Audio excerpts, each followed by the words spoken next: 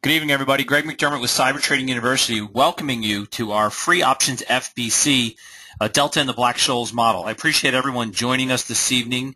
Uh, we are going to uh, talk a little bit tonight about uh, the ever ever elusive uh, Delta.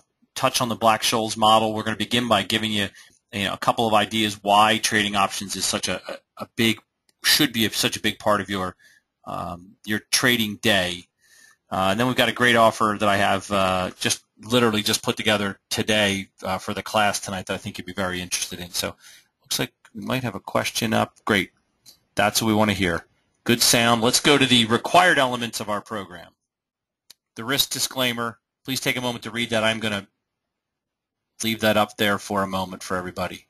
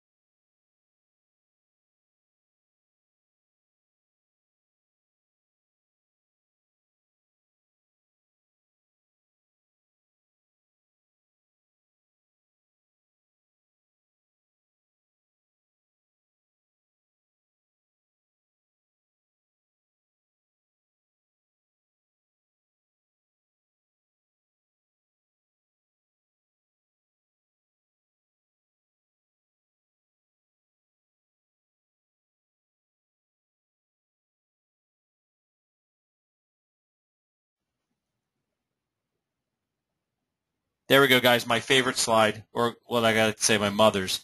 Uh, that is me, Gregory McDermott. Earned my Master's of Applied from Finance in Finance from Macquarie University in Sydney, Australia in '89. Bachelor of Financial Management from St. Joseph's University in 1987. I was a crude oil options market maker at the NYMEX. I was the head options market maker for JAS Securities uh, at the PHLX, and while I was there, I managed our firm's portfolio risk for our team of uh, 10 options floor traders who worked for me. I was also a market maker in the Dell computer crowd, which doesn't sound that impressive right now, but uh, back in the day, it was the busiest equity option traded in the United States. Uh, directed an all-floor trading unit for JAS Securities, and while I was there, I was qualified by the ISE, the ICE, um, the International Security Exchange, as a DTR. First, I just want to touch I don't know where everybody comes from uh, for our, our webinar this evening. So I just I do want to talk about the, the, the strength, the power of options. And again, we've I've got a presentation where we, we spend an hour talking about why there's a gigantic advantage for you as a trader to have options as part of your um, your skill set. I'm going to touch on one of those, and it's one of the ones that doesn't get talked about a lot. Um, and and what I really think is a, is a big advantage of trading options. Then we're going to talk about the Black-Scholes model and Delta. Uh, but the one fact you can't argue is that options offer you a superior alternative to shorting stock. Lots of people in America, lots of people around the world have been brainwashed to believe that, you know, up, they come from a background of stock traders, that up is good, down is bad. And you can't root for the downside. You know, that's like watching Rocky Four and rooting for Ivan Drago. You know, you don't root for Ivan Drago, the Russian guy. You root for Rocky. You root for up. Everyone wins when we go up. Well, it's really not the way um, trading happens. And even in, in markets like we've had, where the markets have been in general up over the last couple of years, there's a significant amount of opportunity to trade the downside. And if you have to sit on the sidelines because you're unwilling or unable to, to trade the downside, you're limiting the opportunity you have in the market. And that's one of the strengths. Done correctly, uh, with either the, the purchase of outright purchase of a put, the purchase of a vertical put spread, the sale of a vertical call spread, none of these being positions that would put you in a um, an unlimited loss position. They're measured risk downside trades, just as if you wanted to trade the upside. You could trade the opposite. Up, down, doesn't really matter in options. And that's, I think, one of the keys. Um, it's one of the things that is foreign to a lot of people because of the belief up is good, down is bad. And this allows you to profit on down moves. And hey, there's nothing wrong. Money's money. Profit's profit. Don't don't think about, geez, I only want to make money on the upside. You're limiting the opportunity you have to grow your capital and improve as a trader. So a couple of the reasons why it's superior. One of it's the margin requirements. A lot of a lot of times it's it's very very expensive to be able to um, to carry the margin required by your brokerage firm to be short a stock. The other thing a lot of people don't know is to be short a stock, you literally have to be able to borrow that stock from someone who is long it. I know that sounds rather arcane and archaic, but it's true. Uh, I remember as an options trader on the floor, Dell Computer, again, way back in the day, um, used to be what we called hard to borrow, which meant there were more people who wanted to short the stock than there was long stock available to be lent out for a fee to the short sellers. So every day we would get, um, nice lady Michelle would come down and say, hey guys, there's 50,000 um, to buy in. Um, and what that meant was that there's a possibility if by the end of the day the clearing firm didn't have enough uh, borrowers, people willing to lend stock as those short, if there was a discrepancy, they would take away short stock. Well, one day I walk in and find out that they have taken 10,000 of my short shares away, and I'm now longer 10,000 deltas than I thought I was. Um, the guy who used to be our, our uh, who managed our firm called up our our clearing firm, now Goldman Sachs, then Spear Leeds and Kellogg, ripped off some, I'm sure, very, very, very colorful words, explaining to them how they were never to take our fill in the blank stock again. Now, this story has a happy ending because, you know, as rarely happens, but in this time it did. Um, Dell opened up slightly higher. I was able to resell my 10,000 shares of stock, made a few bucks. The good guys won one for a change. But the margin requirements and the, the limitations of short stock can and are real. You don't have that problem with options. The SEC has their own little uh, take on uh, on selling, you know, selling stock and being short stock uh, because of past crashes and uptick rules. There are ways people try to circumvent the uptick rule. The easiest way to circumvent it is to go buy some puts or a put spread or sell a call spread. That's the easiest way, and don't worry about the margin implications. And there are some brokers out there who just will not let you short stock because of the ultimate risk that you know, you short a stock, in theory, it can go to infinity. I've yet to see one go to infinity, although some of the holders of stocks like Priceline may feel like it's gotten to infinity. But you put yourself in, a, if you are just simply short stock, you put yourself in an, an unlimited loss position, and your broker rarely will let you put yourself in that position without a significant capital reserve. And you can have a small account and, and be long puts which would allow you to profit from a downside move um, with very little at risk. And the best part is a completely measured risk. It's it's one of the advantages. We're not going to spend much time on it, but done properly, when you enter an options trade, you can tell exactly what is your maximum loss and and in general what is your profit potential. Sometimes the buying of a put again theoretically can go to infinity, but it normally doesn't. But you have that that that advantage. Um, again, those some people and, and there are traders who are just afraid of it. You know that that up is good, down is bad. They're just afraid to be short because they feel like stocks always go up. All of these things negatively impact uh, you know a trader um, if you're trying to trade the downside by using just simply stock. And that's why I believe options provide safe, risk-managed, appropriate trades that allow you to capitalize on the downward move in an underlying.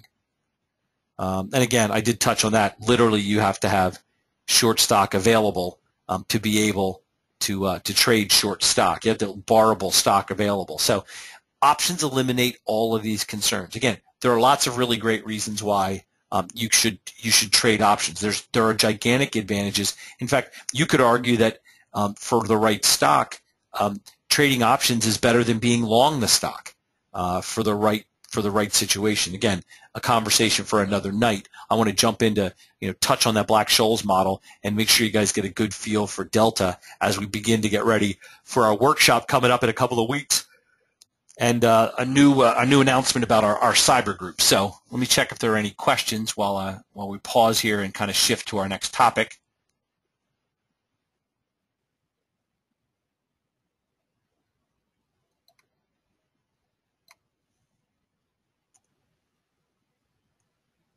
The Black-Scholes model. Now, I'm going to go over very, give you a cursory look at what the Black-Scholes model was. It's developed historically by uh, Fisher Black and Myron Scholes, in, uh, first introduced in their 1973 paper, The Pricing of Options and Corporate Liabilities. The, the goal of the options pricing model, the Black-Scholes model, was originally to figure out a way to hedge options uh, risk. So they would take the risk that they had in a position and try to figure out a way to hedge it in an effort to mitigate the risk in options. Now again, we're talking about 1973. We'd barely gotten to the point where we had puts and calls at this point. So we're talking the very early days of options trading. And this first model was used to say, okay, if I have this option trade on, how can I use the available information? What sort of inputs do I need in an effort to try to mitigate the risk or maybe lock in some profit. And we'll talk about that with Delta coming up. Um, but it was originally out in 1973.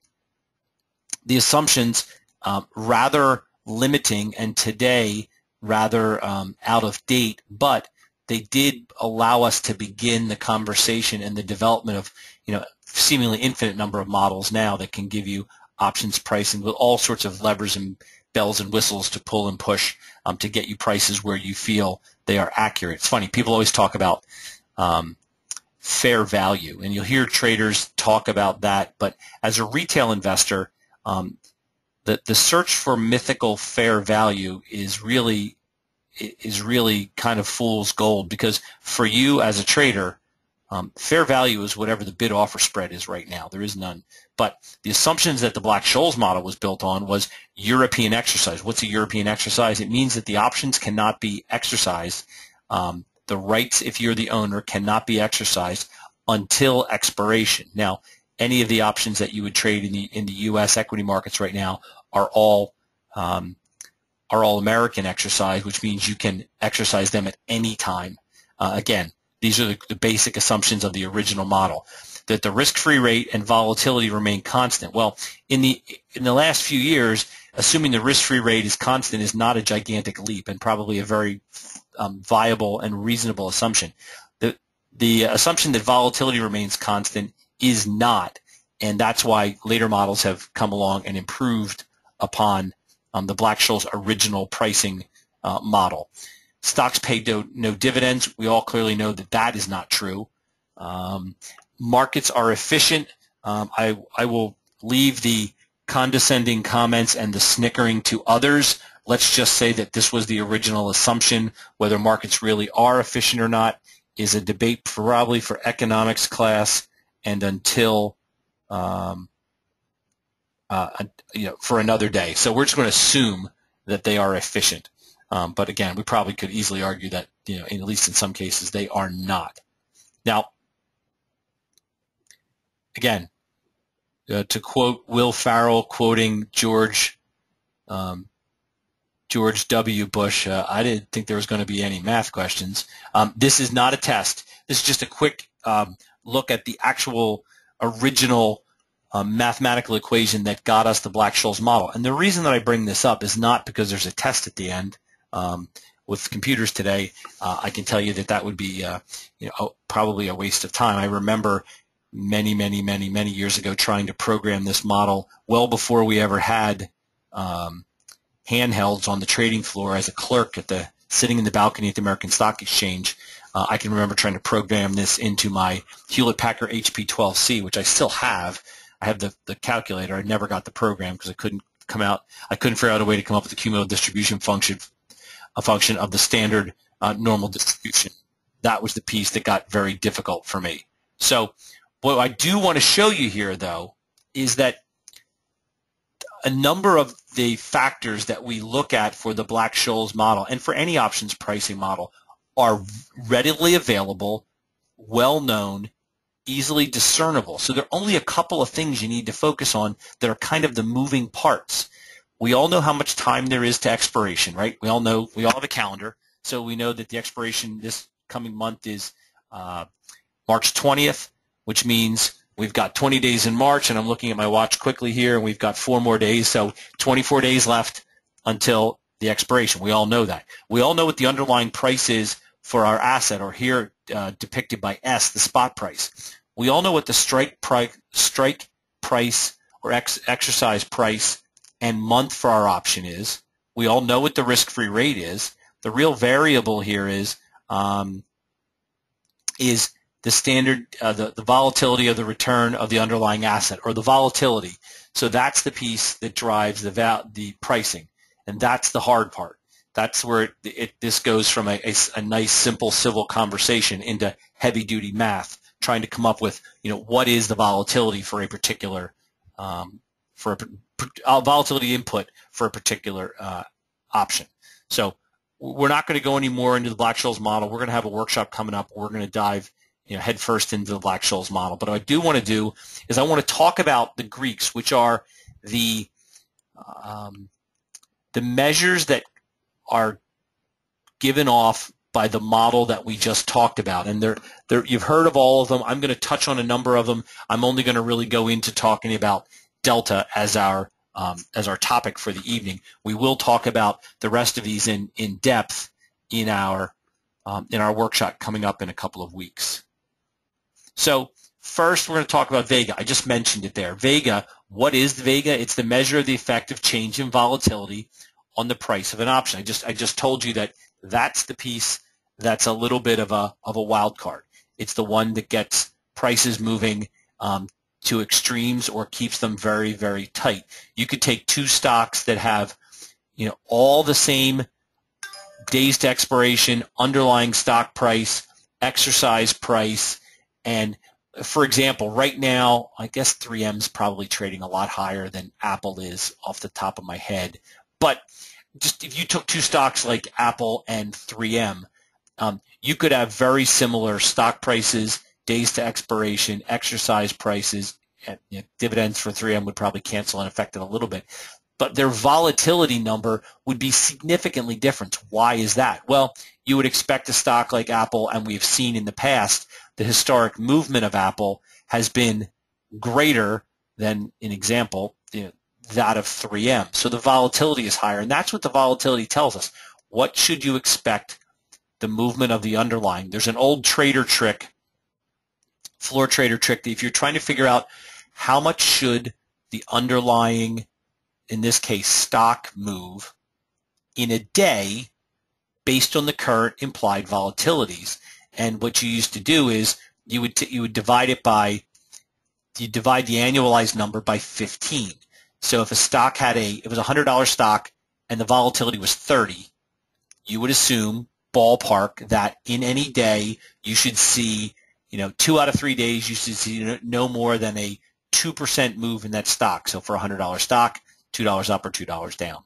Um, why do you pick 15, Greg? Well, it's really the square root to go from annualized to daily, you would take the square root of the number of trading days in a month to drop down an annualized volatility number to a daily volatility number. And since the square root of, of 25 is probably off the top of my head something like, you know, 16 point something or 17 point something, but I do know that the square root of 225 is 15. So as an approximation, we would use those if you're trying to get a feel for okay, what the volatility that I'm paying, what what does it really mean when when it comes to the movement of the underlying stock? What is the the price of this option is in is um, building in this sort of an anticipated movement in the underlying, and that's one of the ways you can determine does volatility seem high or seem low based on history. Um, where do you see volatility get really high? Usually around you know, announcements, earnings, if the Fed's making movements, or uh, in general, if the market moves sharply to the downside, in, in general, volatility moves up as people go to buy uh, puts as protection. Um, and the one thing about Vega is it can be a cumulative measure to help you measure the, the, the volatility risk of the options in a portfolio. What's theta?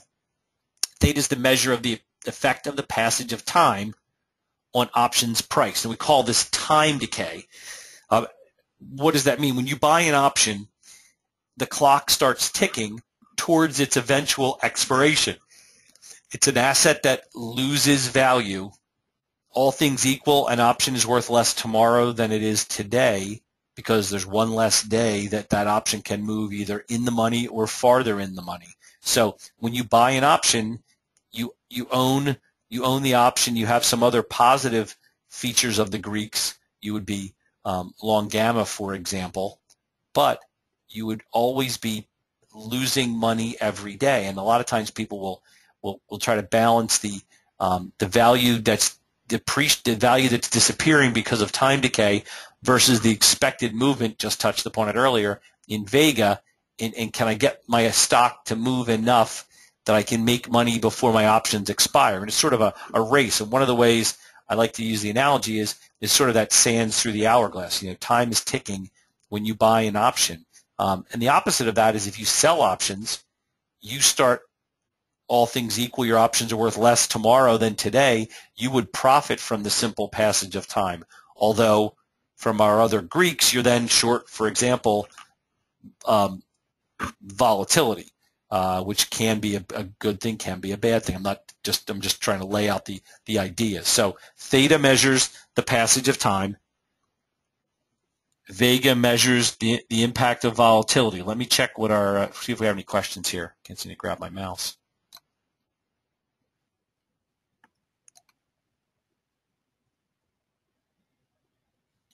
Uh-oh, somebody asked me a math question. I'm going to go back and try to answer it.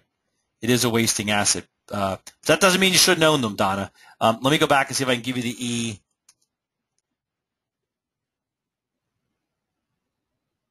Um, I'm not sure, so i am not going to make up something. I'm not sure the answer. I'm not going to pretend that I do. I don't off the top of my head now. I pulled out my old textbook, I could find it for you. Um, rho. No, rho is not that girl you went to high school with named Rosemary. Uh, rho is the measure of the effect of the change in interest rate on the price of an option. Now, to be fair, over the last few years, rho, um, the girl you went to high school with, has probably been more impactful on the price of your options than the movement of interest rates because movement in interest rates have really been a uh, a separate topic. We really haven't had a lot of movement. I can remember though when rates were higher, significantly higher. Shoot, I remember I bought my first well, I guess I bought my second house, which is the house I still live in, and I remember getting a and the mortgage at seven percent and was like, sign me up forever at seven percent. Um, seems kind of crazy now with interest rates clearly down well below four, but um, interest rate, although it can be impactful, um, at the moment doesn't really infect, affect your position and your options because interest rates just aren't moving. Um, and it, it also is, is cumulative. You can figure out the interest rate risk in your position. Being long and short options can make you on some lines long and some lines short um, rho. Um, and you can accumulate that to try to give you a, a, feel for the real exposure in your portfolio. And that's at, at its next level when you take the options Greeks above um, the simple uh, effect that one option has in your position when you start to aggregate options. You know, myself as a market maker, I would have positions long and short, calls and puts, all the strikes, all the months going all the way out. And then you would try to take this, the, the model would help you sort of um, distill and aggregate your real risk and try to help you identify where there could be holes in your position.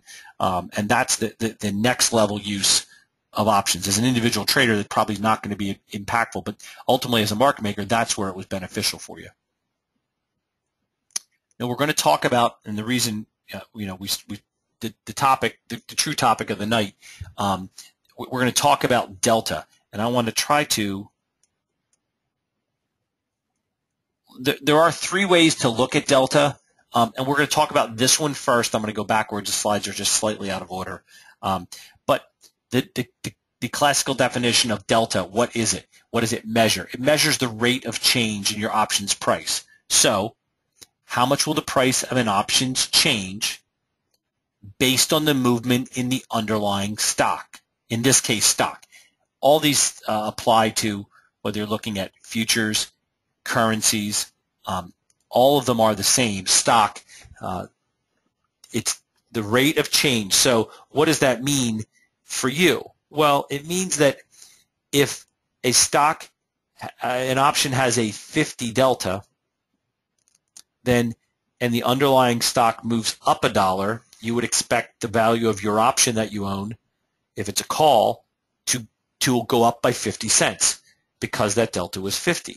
Um, if it was um, you were long a call and the stock went down 50 up down a dollar, you would expect expect the value of your call, pardon me, to go down by 50 cents. And again, it's an approximation that gives you a feel for the impact of the movement of the underlying on the price of your stock. And when we describe options, sorry, when we describe options in general, we will describe sort of the um, their impact that they have. I mean, we use three terms to describe options, and we'll call them in the money, out of the money, or at the money. Now, pretty self-explanatory. You'll have options that are in the money are options where for a call, the value the value of the stock, in this case the stock, is above the underlying strike price. So if you have a stock that's trading at $75, the 60 call would be in the money. And then using that same example, the 75 call would be would be at the money, and the 90 call would be out of the money. And those three things kind of give you a description of them. And it also has to it also whether it's in the money, out of the money, or at the money, you normally can determine that not necessarily even by the strike, but simply by the delta. If something is a 50 delta option, half again, options deltas can be between zero and 100. Um, a 50 delta option is an at the money option. A, a 90 delta option is in the money, and then correspondingly we would call you know, 20 or 30 delta option out of the money in general. So let me skip back up because I deltas. You can have deltas for calls, which are always going to be positive or long, and the deltas of puts are going to be negative or short. So if you are if you're the owner, and again, let's take a moment on this. If you buy calls, you're what we would call um, you have positive delta. If you sell calls, you have negative delta. If you're long puts, you have a negative delta, and if you short puts, you have a positive delta. So and again, there they are. I talked about those definitions, the in the money, the at the money, and the out of the money. So those characteristics really function and spin around the deltas that we see. So it's the deltas are determinant of um, their position relative to the strike. So we also have to, and I didn't, I didn't mention this, but we do have an absolute value the calls and the puts on the same line are going to equal 100. Now I'm going to show you right now uh, a quick screenshot. And this is a screenshot from uh, Thinkorswim. And I'm going to try to get my mouse to work here. It's been, it believes it's on vacation, I think. I wish I were, but it, it definitely believes it is. So let me try my best here, see if I get this mouse to work. So using this highlighter, our stock is up here. Of course, you always use Apple as your, and I'm going to, let me grab a pen so I contrast it a little bit better for you. And it, when you set up your screens, this is, you know, the strike, pr the price here for the, the stock was uh, 118.93. And what did it tell us? We looked at the front month. So let's say the 119s along this line. That's the at the money call. What's the delta? Well, the delta of our call over here is 50. The delta of our put is 50. And if we look at the in the money, let's say the, the, the 114s, the delta of our call is 79 and the 114 puts, again, you can point out to me that 79 and 20 equals 99. I get it. It's a rounding error. It's it, effectively it's it's uh, the absolute value equals 100. And the same thing you'll see if you go to the 125 calls. The delta here is 14. The delta here is 87. Ooh, 101. There's that delta we lost from down below. So as you can see, it's it's an easy thing. If I tell you that the delta of a call is 64, you should be able to tell know that approximately the delta of the corresponding put along the same line is going to be 36. Now again, I just made up a number there, but so if you let me take them off so it's a little easier to see.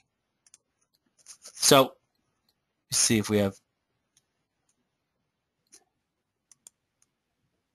see it looks like we have a question.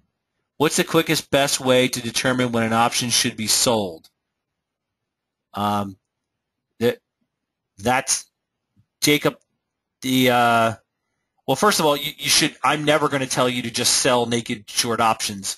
Um, you may sell them as a covered call, um, and it's really kind of a.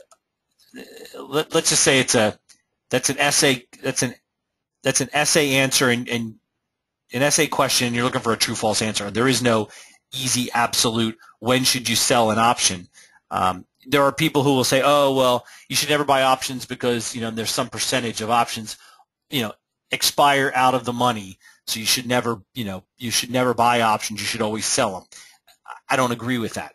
Um, I don't like positions where you are what you I would call naked or net short options, where you have put yourself in a possibly unlimited risk position, just not the way um, I trade or teach people about trading.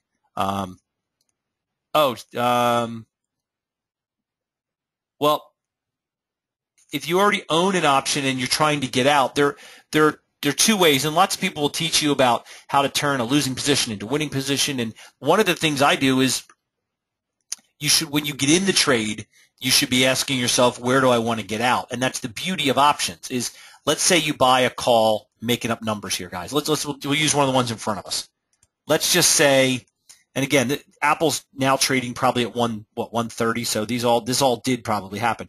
Let's say you bought these calls.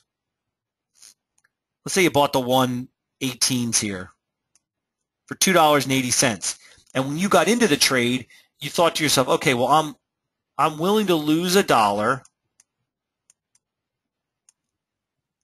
and I'm looking to make so that would be a dollar eighty loss. I want to make twice that as it so 360 and 280 is 640. So I want to sell this at 640. So when you've entered the trade, you've already determined there's my loss limit and there's my target profit. Now, I always reserve the right to let you lift lift and take uh, lift your limit on the on the on the winner side if you correspondingly move your stop up. So I'm trying to answer a question that's really probably best suited for another forum. Uh, but let me try. What what I try to do is if I own an option, we did it today in the um, in the uh, cyber group. There there are times when you should just get out. You know, when you've reached your target, just just sell it. Particularly as you own an option and it approaches expiration, it's going to start losing value. We're going to talk about that in a moment. Um, so not a great uh, answer, but the question kind of, again, it really requires a, long essay answer that I don't have time to give right now. Um, so, I, but in general, you should have a plan getting in is where you want to get out. Now, there's what we talked about. That's one of the ways to look at delta is the rate of change. And, and here's what we, we talked about. We've got, if you have a 90 delta call, stocks at 100, your 90 call, about an 80 delta. If your stock price is at 11 and the stock moves up a dollar, these calls should be worth 1180. If it goes down, they should be worth approximately 1020. $5, it's a 50 delta. Stock's at 100. It goes up a dollar. This should be worth about 550. 50 times the stock price. And then down, obviously, it would be worth 450. And then with a $2 call, stock goes up a dollar, it's only going to be worth $2.20. And if it goes down, it'd be worth $1.80, you know, in this quick example. So that's one of the ways is how much is my stock going to change? My, uh, pardon me, option price going to change based on the movement of the underlying. And that's the most simple and traditional view of um, of delta. And here's another way, and this was the original idea that Black-Scholes were trying to get at. It's the hedge ratio. And we like to think of delta as a, as a market maker. Delta was always like stock. I'm long a thousand deltas meant I'm effectively long a thousand shares of stock. I'm long a hundred deltas. I'm long a hundred shares of stock. And I told you we could aggregate that delta. And I might be long some of these, short some of these across the month, and, and my net might be I'm long a thousand deltas. Well, if I want to hedge that, then I would sell a thousand shares of stock against that position and effectively hedge myself to zero delta. Again, that would be at that moment zero stock at risk. Now, if you have any sort of a sizable position, it's nearly impossible, if not impossible, to really have a zero delta. Um, I remember when my, my daughter was born, uh, pardon, my son was born August 31st, 1998, and I knew the baby was coming. I hedged my position down as flat as I could get, and that day the market, if, you, if anyone was around back then, the market took a gigantic, got crushed down, could have been down a thousand. It was down a zillion. Um, in fact, he was born at 9:29. It was the last good thing that happened that day because the bell rang at 9:30 and all hell broke loose. And I had a position that you would have thought there was no way there was any risk in it. I had flattened it out like crazy, and still took a beat down. Not a huge one, um, but it was a bad day trading. So um, th- this idea of the hedge ratio is a moving target. As you as the days go by as the underlying moves, as the volatility moves, as all these pieces of the Black-Scholes model work together, that delta or hedge ratio will change. It's an active moving thing. It's not like, oh, if you if you have one option trade, you can pretty much put a hedge on and within reason you can be done. But once you start aggregating significant numbers of, of options, you end up with a you know kind of a, a very tough thing that you've got to manage. So that's the other way you can look at at Delta is how can I use it to hedge my options position or that hedge ratio. And this just shows you a quick example of, you know, if you are um, long the options, the, the deltas will increase as you go. Your long calls and long, long delta as it increases, you will get longer. And if you are long puts and the underlying goes down, you will get shorter going your way. Um, and the other way, this is sort of a, just a general one, is a ballpark percentage chance that the options will expire in the money. And you could almost call this sort of the de facto prediction of an options chance to be in the money. And let me go back to our example here. Give me one second. I have to bring back, I lost my, there it is, from the current slide. Sorry about that, guys. I lost my little uh, webinar tool. So you could also look at this delta as the approximate probability that the option will will um, settle at expiration in the money. That prediction becomes more accurate the closer, obviously, you get to expiration. Um, but it's a general rule of thumb. It's not set in stone, but as a trader, it's one of the things you think about when you're looking at it. So what does that mean to you? Well, a 20 delta option ballpark has about a 1 in 5 chance of finishing in the money. A 90 a 90 delta option has, you know, almost a, ni- 100%, about a 90% chance of finishing in the money.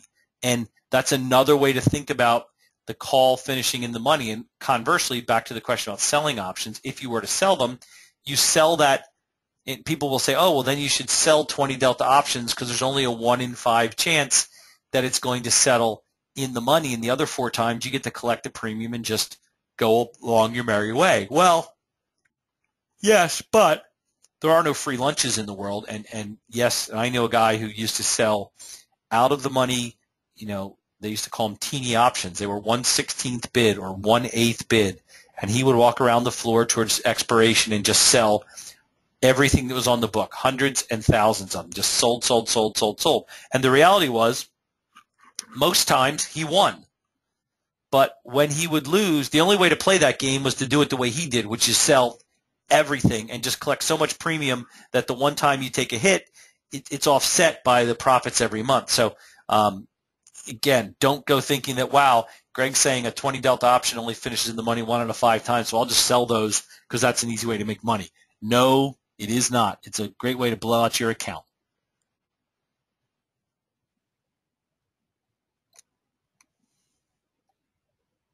Oh, I'm sorry. I thought I had another screenshot. So as you can see here, smarter than I thought. I knew I'd put a screenshot in. Um, the delta here is 83. Probability in the money, 81.33. Now again, and this was about 12 days to go till expiration.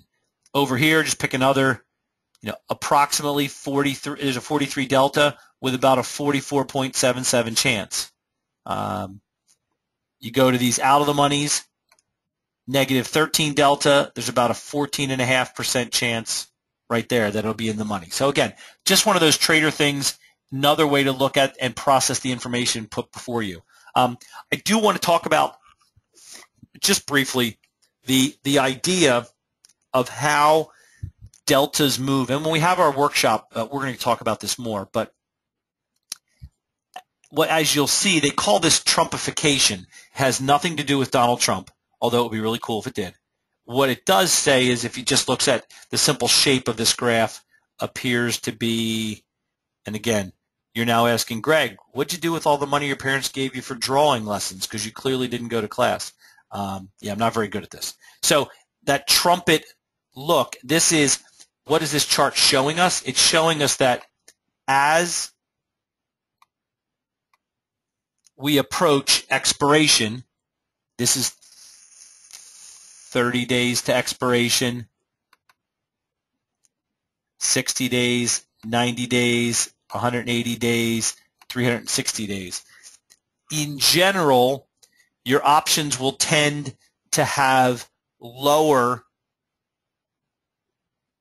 deltas the closer you are to the strike. Now, you know, you can still get an 80 delta option a 300 a year out. The problem is that thing's going to be have to be really, really, really in the money. What you, what do I mean by that? Well, if it's a hundred dollar uh, stock, and you wanted to buy the call that's a 90 delta out a year from now, the strike would probably have to be down around, depending on the volatility, and again, that would determine it. Um, it could be down at 50 or 60. But as you get closer to expiration, so let's just say, as in our example, let's say out here to get uh, a 90 delta, or let's say an 80 delta, an 80 delta call a month from expiration, let's say it's like the, let's do this again. So a year out,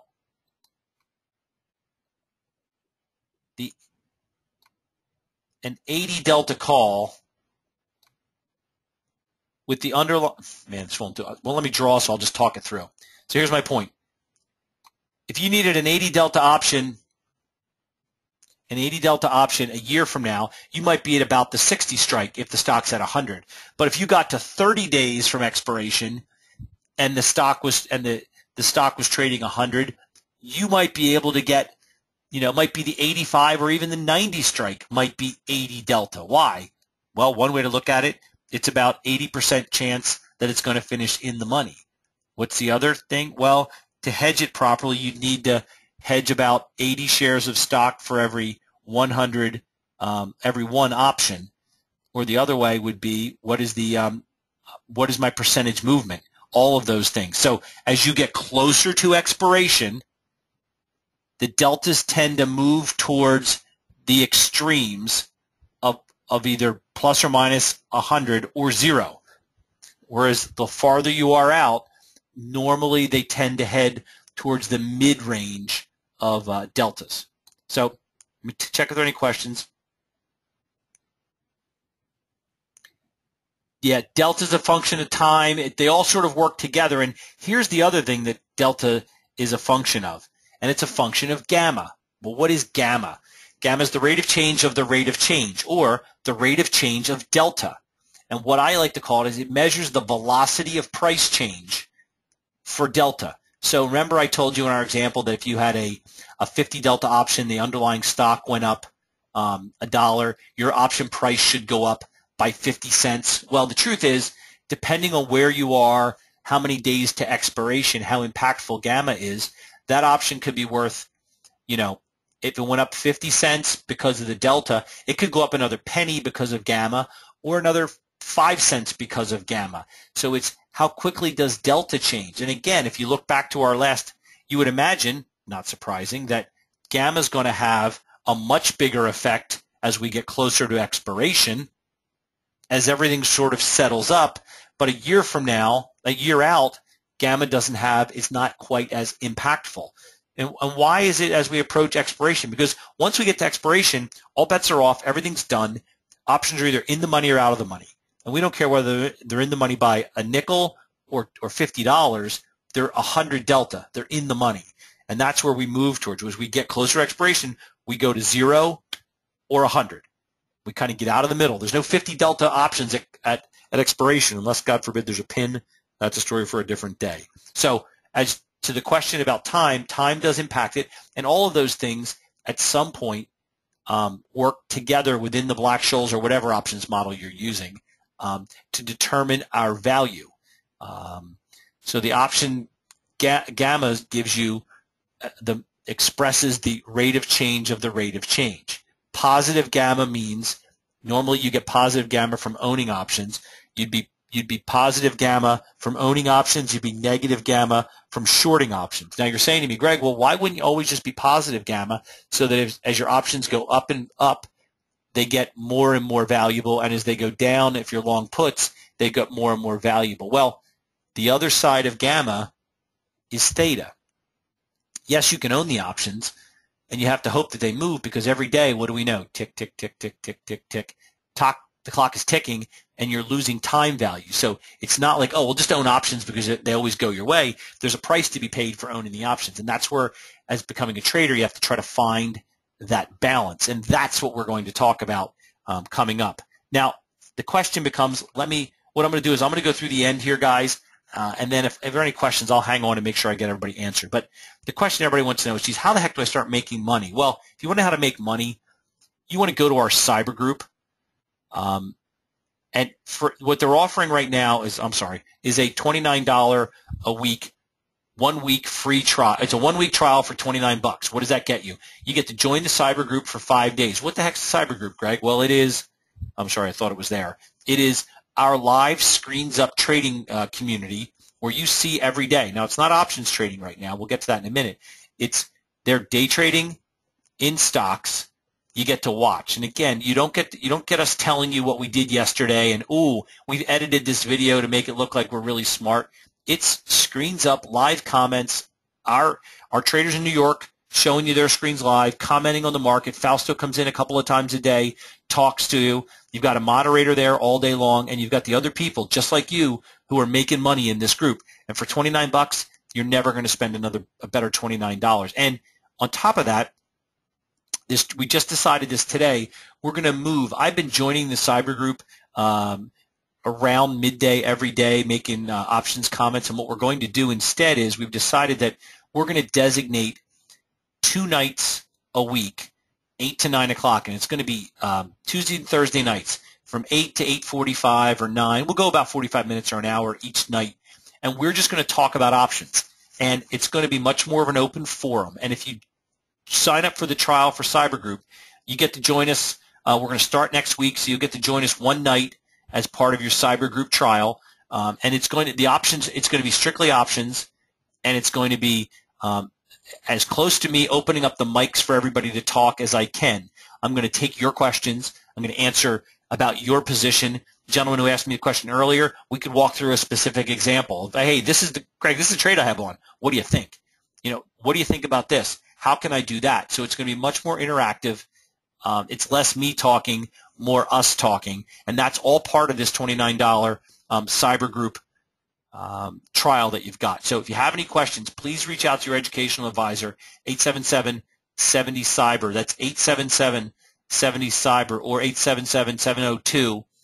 877-702-9237. So I appreciate everybody joining us this evening. This is Greg McDermott for Cyber Trading University signing off. Everybody have a great evening. Thanks for joining us.